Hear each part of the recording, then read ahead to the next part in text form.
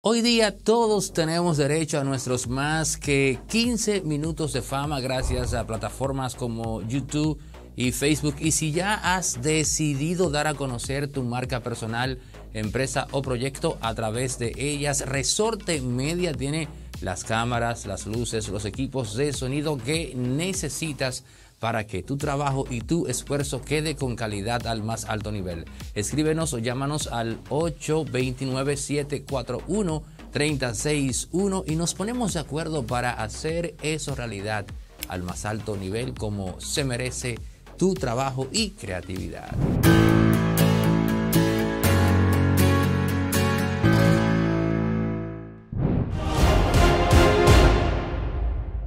Es por eso que Leonel Fernández eh, tiene una frase que dice, aquellos que no entendieron cómo llegamos al poder, no comprendieron la derrota del 2000. Con esa frase, Leonel Fernández se está refiriendo directamente a Danilo Medina.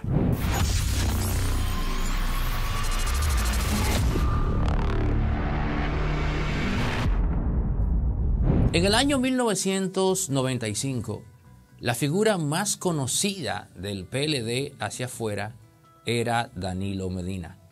Pero también en el ámbito político internamente, Danilo era la figura más respetada.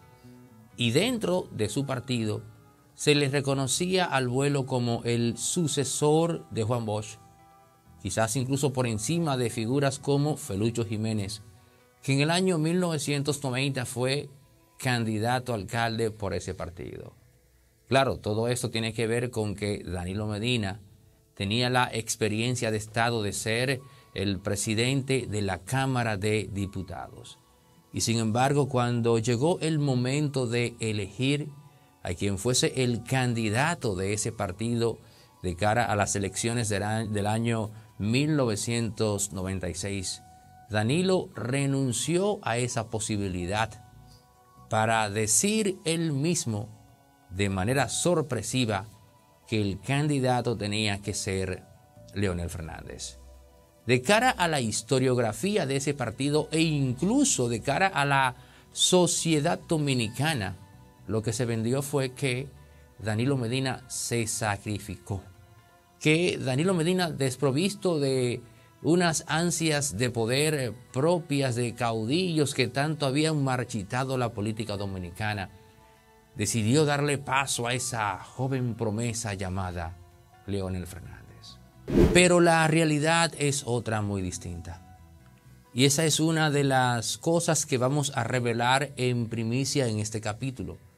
Cosa extraña porque las primicias tienen que ver con cosas que ocurren en el momento sobre todo en esta época de tanta hiperconectividad en donde las noticias son de conocimiento público en apenas segundos. Señores, la realidad es que Danilo Medina había hecho un análisis político que si usted lo ve en el momento, se pinta acertado.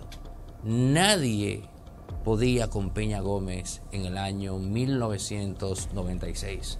A Peña se le veía como el presidente al cual República Dominicana le debía el voto a raíz de lo ocurrido en el año 1994.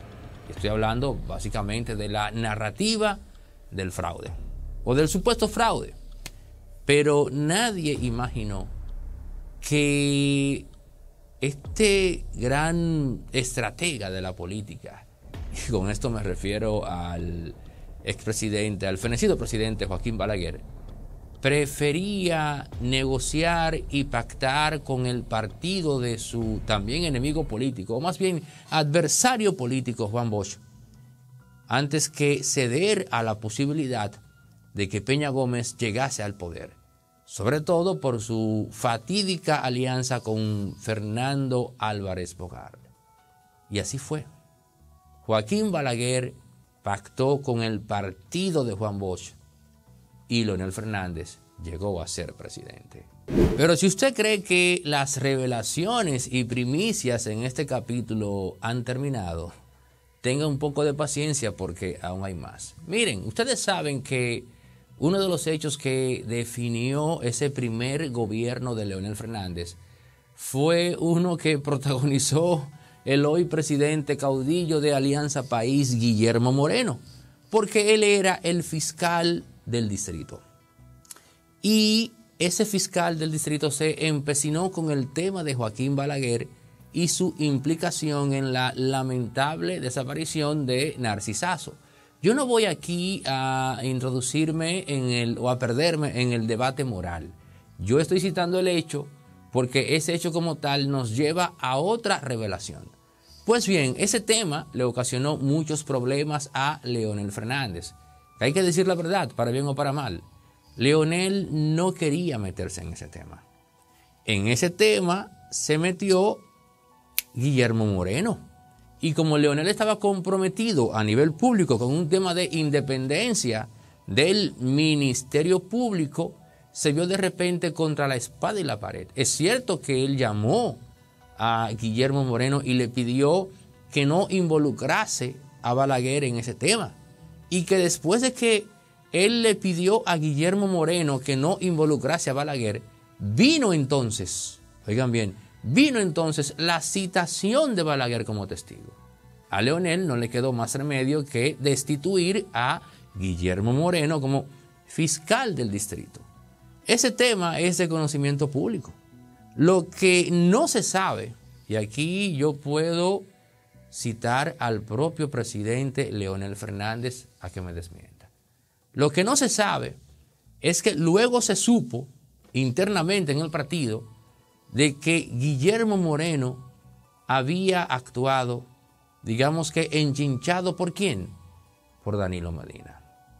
Revelo este dato que no era de conocimiento público hasta ahora, porque tiene una implicación directa en el año 1999, en la confección del equipo eh, del proyecto de Danilo Medina como candidato y posible presidente del PLD. Llegan las elecciones, ya todos ustedes saben que Danilo Medina sacó alrededor de un 25 o 28%. Y cuando Danilo, viendo los números de Joaquín Balaguer, el expresidente, bueno, 28 más 20 y tanto, con el apoyo del Estado, se puede hacer algo y ganamos.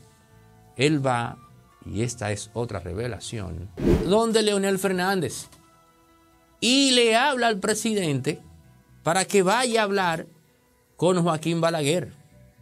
El Joaquín Balaguer que asume, entre otras cosas, que Leonel tuvo que ver con este tema de la citación de Guillermo Moreno.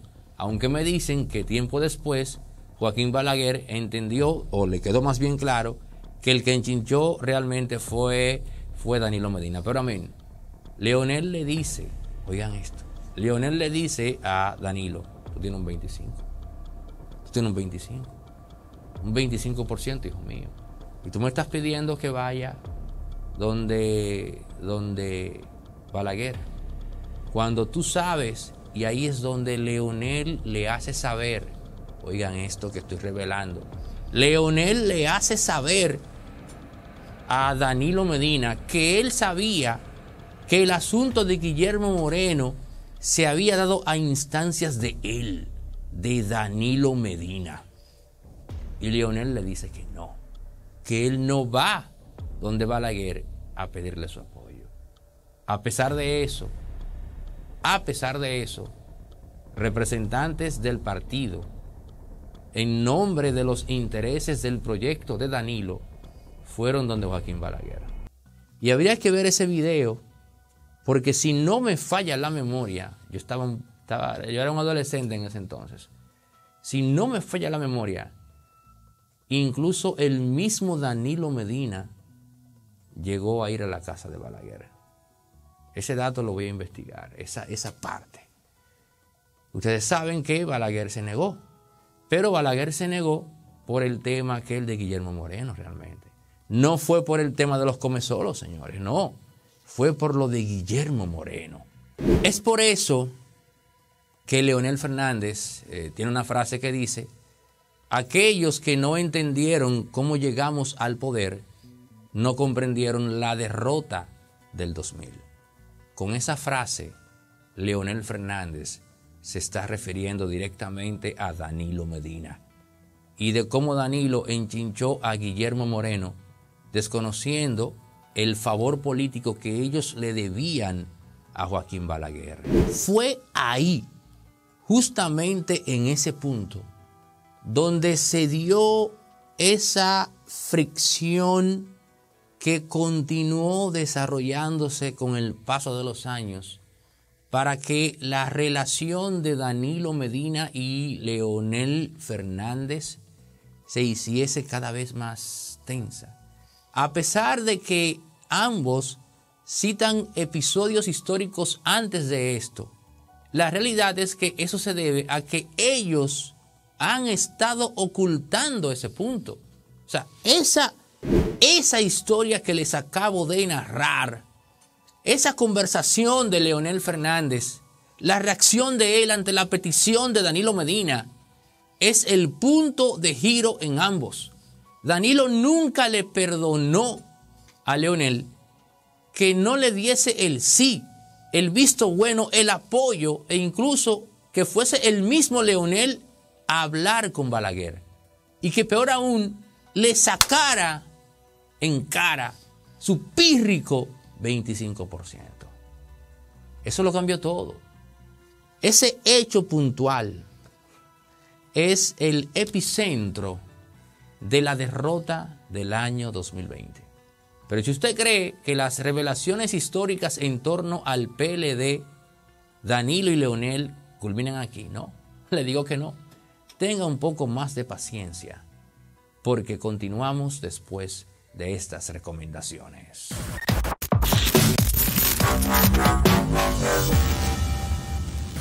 Energía eléctrica para toda la vida con una sola inversión, una gran solución con Ser Solar, los expertos en la instalación de paneles y celdas fotovoltaicas, empresa dominicana con experiencia regional en Estados Unidos y Europa.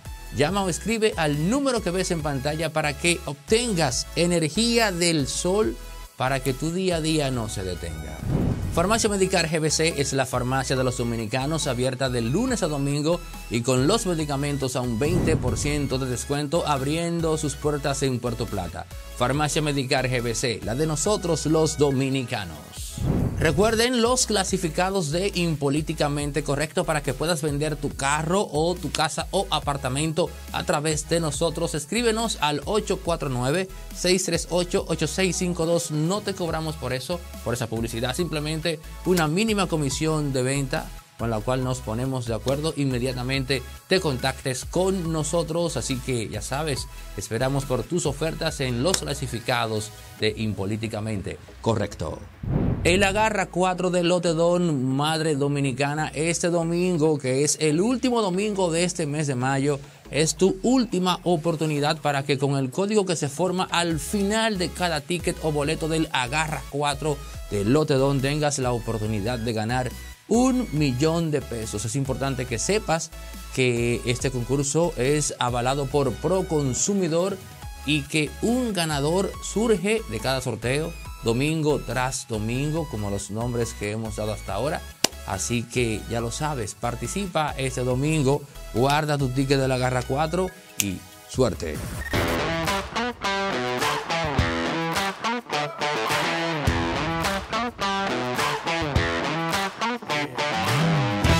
Hay un mito que tenemos que desterrar. Los 12 años de gobierno de Leonel Fernández. Mentira. Leonel Fernández en República Dominicana solamente gobernó seis años. Y digo seis años porque al más alto nivel, en el comité político del PLD, aquellos que fueron funcionarios, saben perfectamente que Danilo Medina se dedicó a la práctica de secuestrar decretos. Oigan bien esta palabra que he dicho.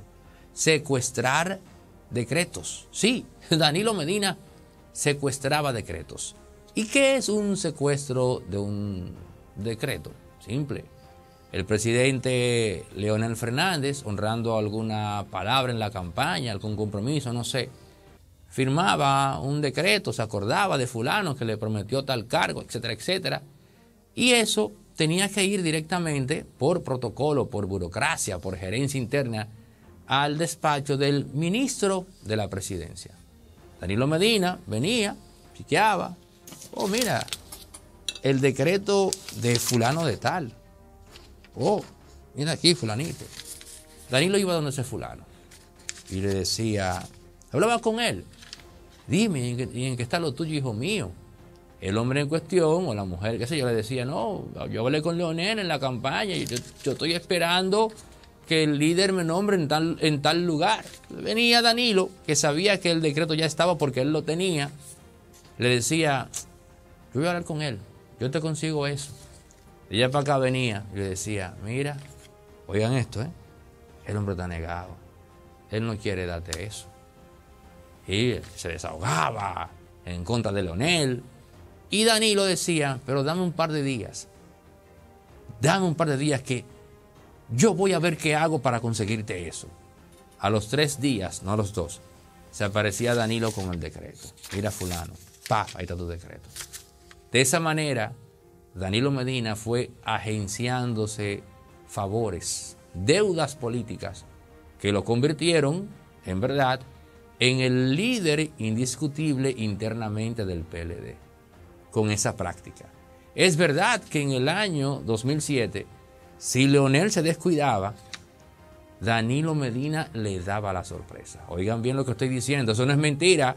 Danilo Medina podía darle la sorpresa interna a Leonel porque tenía todo un público de gente que le debía favores sobre la base de esa práctica, el secuestro de decretos. Leonel Fernández, mientras Danilo Medina fue ministro de la presidencia, le dejó el tren de Estado a Danilo.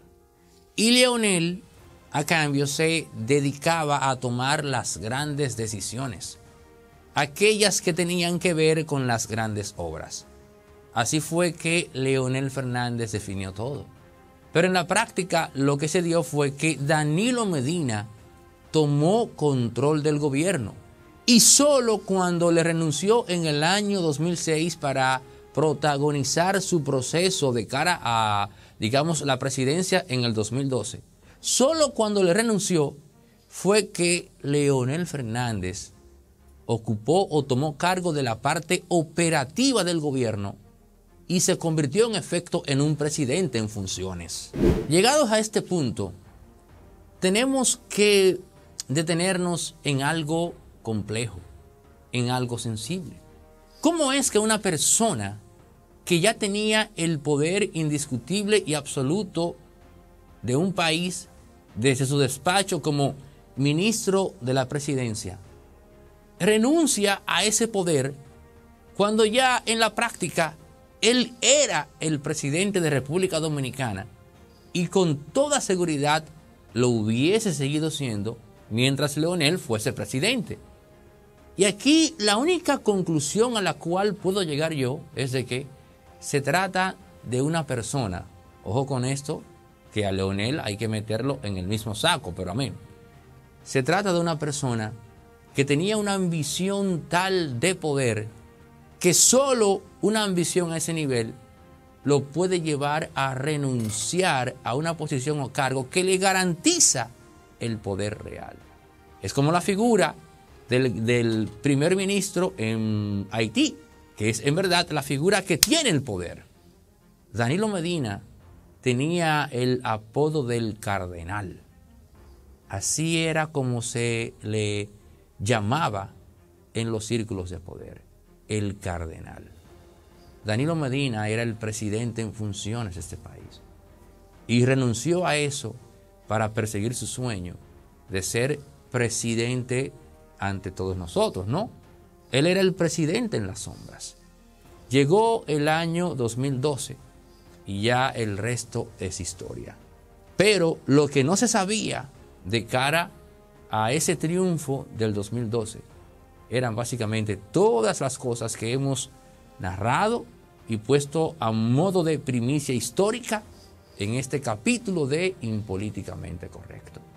A partir de hoy, y con estos datos que hemos dado, esperamos que la sociedad vea la política dominicana, en especial la saga Danilo Medina, Leonel Fernández, con otros ojos.